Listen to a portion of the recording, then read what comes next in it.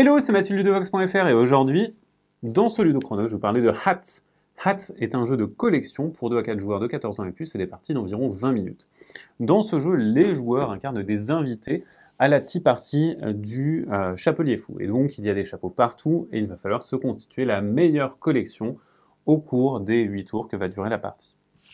Chaque joueur va démarrer la partie avec des chapeaux en main on va avoir un total de 9 cartes chapeaux et donc on va les échanger contre des cartes qui vont se trouver sur la table. Les positions des chapeaux sur la table vont avoir une incidence et vont nous faire marquer plus ou moins de points.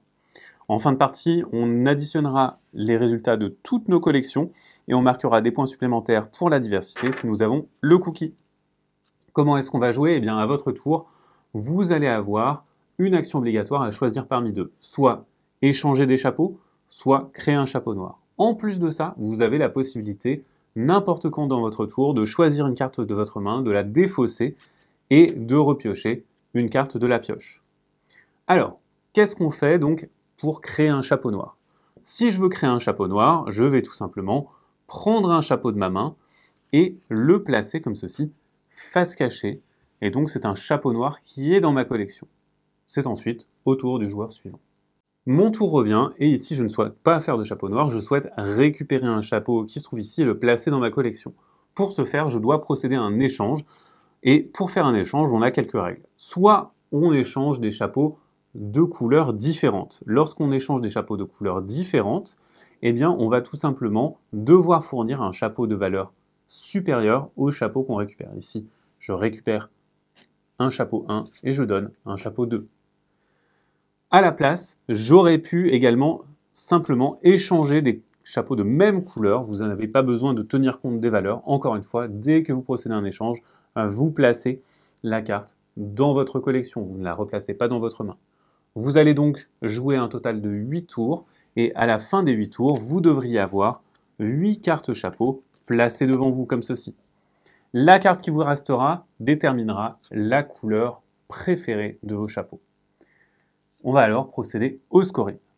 Lorsqu'on procède au scoring, on va vérifier déjà une chose. On va vérifier qu'il y ait des couleurs en double ou pas. S'il y a des couleurs en double, ici nous avons des violets, on va retirer de la table euh, la carte en doublon qui va se situer sur la valeur la plus élevée de la table, ici 6. Ensuite, chaque collection va être marquée. Vous allez marquer un nombre de points qui est égal au nombre de chapeaux de cette couleur multiplié par la position. Tous les chapeaux en position 1, donc ici tous les chapeaux bleus, font marquer un point. Tous les chapeaux qui sont en position 5, donc tous les chapeaux roses, font marquer 5 points chacun, indépendamment de leur valeur. Donc on va additionner tout cela, les chapeaux noirs vous font un point, et enfin, vous avez la couleur préférée. La couleur préférée, vous allez la révéler, et la couleur préférée va vous permettre de changer les règles de scoring pour cette couleur. Pour cette couleur, en plus, vous allez additionner ces points. Ici, j'ai 4 et 6, 10 points en orange. Et je vais retrancher le chapeau qui m'a servi à faire ma couleur préférée, 2.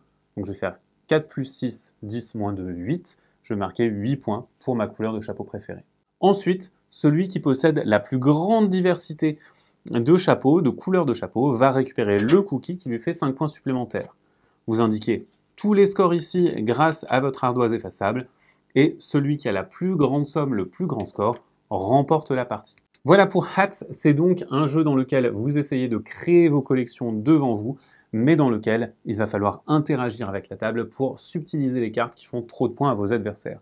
Maintenant, c'est à vous de jouer, à bientôt sur ledovox.fr.